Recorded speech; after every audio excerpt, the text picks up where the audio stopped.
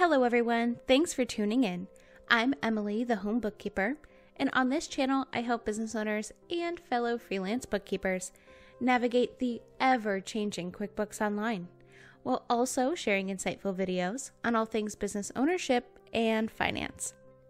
As always, this is a sample company provided by QuickBooks for educational purposes only. In today's video, I am sharing how to set up an installment loan in QuickBooks Online.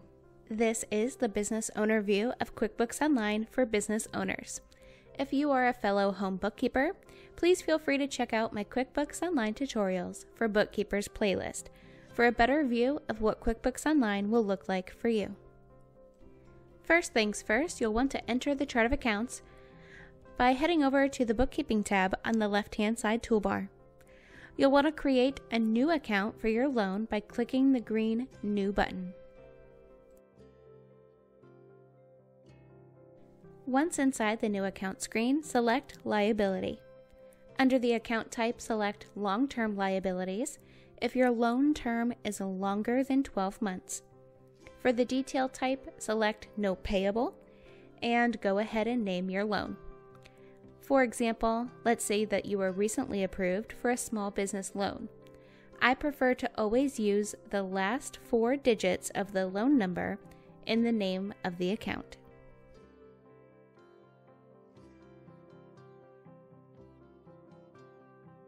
Under the drop-down, enter the loan date and the account beginning balance. This will allow you to track payment progress information. When finished, click the green Save button. And there you have it. A new loan entered into your chart of accounts. Make sure that you are subscribed for part two on how to record a loan deposit. For more business resources, my online self-paced home bookkeeper masterclass business supplies, gadgets, must-haves, and more, make sure to check out edjconsultinggroup.com backslash resources, linked in the description box below. And of course, like this video, subscribe to my channel and turn on those bell notifications so you'll never miss an upload. If you have any video or tutorial requests, make sure to leave them in the comments below. And for even more behind the scenes content of Life as a Home Bookkeeper, Feel free to follow me on Instagram at Emma Dawn and connect with me on LinkedIn. And if you need more assistance, personal financial coaching, or bookkeeping and payroll management, feel free to email or visit edjconsultinggroup.com.